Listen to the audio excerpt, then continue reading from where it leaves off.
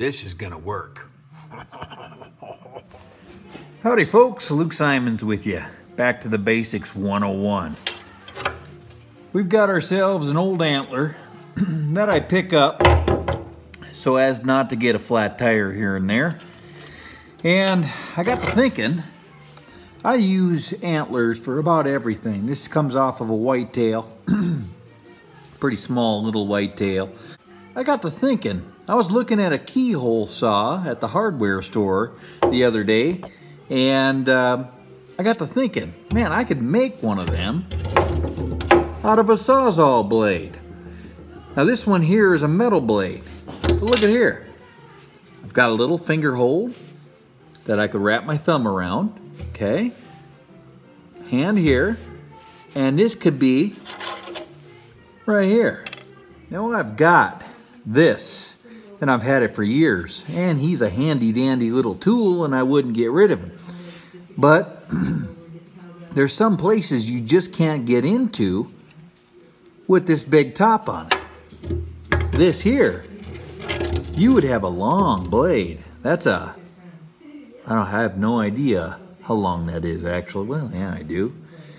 That is approximately eight, nine inches roughly. I've got an idea. Donald Trump invited the Pope to go fishing. So they were on Trump's big yacht, and of course the media was out there following him and spying on him and, and videoing him off of their little boats. And a little while into it, a big gust of wind blew the Pope's hat right off, and it was bobbing along in the ocean.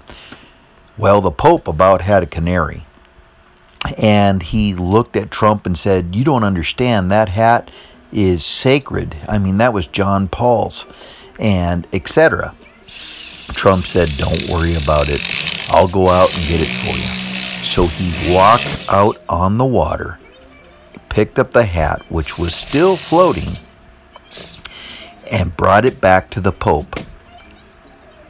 The next day, the media released Donald Trump doesn't even know how Well, to swim. I don't need this back end here.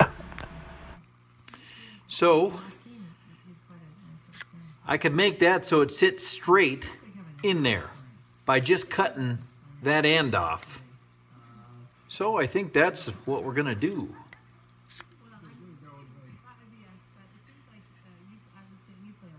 This is gonna work. you know, the music and feeling like I wanted to be in, be in the family. But, and Galen, you feel that way? Because Galen is not really a Latin name, is it? Uh, no, I'm from uh, California. I'm, I'm born to some some parents of uh, Western European descent. Uh, but Celtic. uh, kind well, of. my name is Celtic, uh, Gaelic, but um, the rest of me is, is kind of a, a mutt. uh, but anyway, I, So there could be Latin in it. uh, well, yeah, there's a mystery that got adopted from my grandfather. Anyway, Okay. you so you're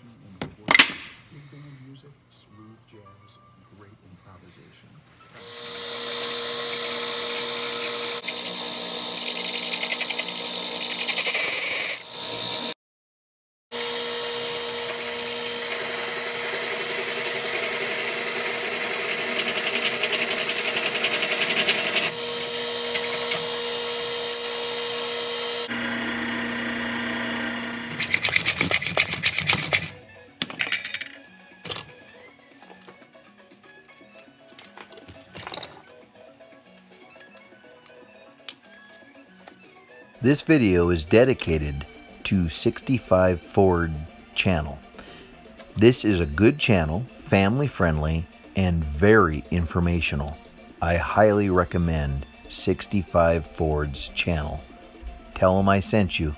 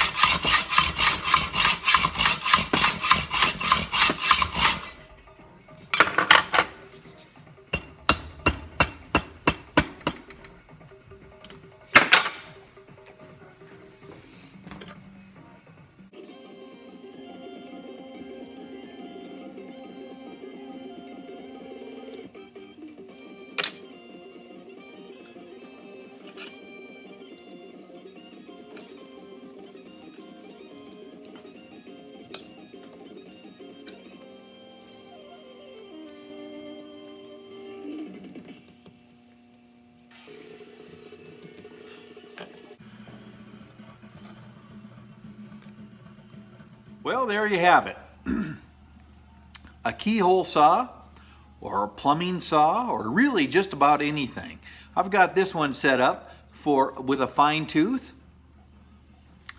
blade and I made that. This stuff is hard to drill through, I'm telling you. Um, I, I went through two blades cutting that just junk blades, but uh, bits, I should say, not blades. But look at there.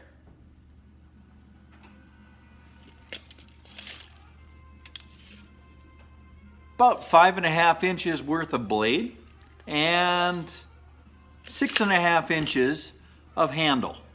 Look at that. Fits. I wear extra large glove. Look at that. Beautiful, beautiful little tool, keyhole saw. Couple old screws I salvaged off of something, I don't know what. And look at there.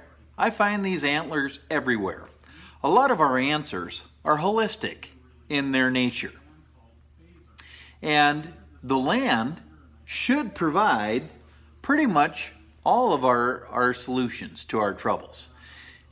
When I go to the hardware store, Oftentimes, I'm not shopping. I'm getting ideas. So when I seen that fancy wood little handle on basically the same blade as this, and I'm telling you, that's hard to drill through, let me tell you. That is hard to drill through. But look at here. I just made one. Look at that. Isn't that the slickest little tool you ever seen? Place for your thumb. Look at that. See that? Look at that. Also, you can put your finger on here.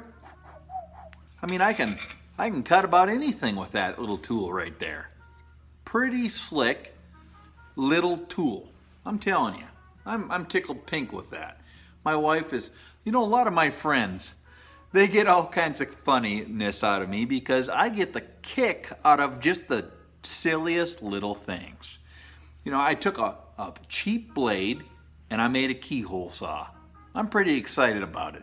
I made a plumbing saw. I can cut PVC with this. I can cut copper with this. I can cut, I can cut steel with this. Uh, it's a hacksaw. This is a hacksaw on an antler. That's what it is.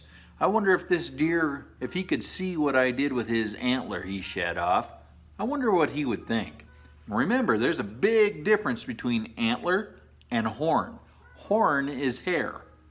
This is bone and they shed a, deer, this is a white-tailed deer, will shed his horn every single year. So about this time of year, fall, late fall, I, November, I will be looking around bushes and stuff when I'm riding, and I just tie them onto my saddle. I get a kick out of this. I am simply living the dream. Thanks for watching. Happy trails. May the Lord guide and keep you.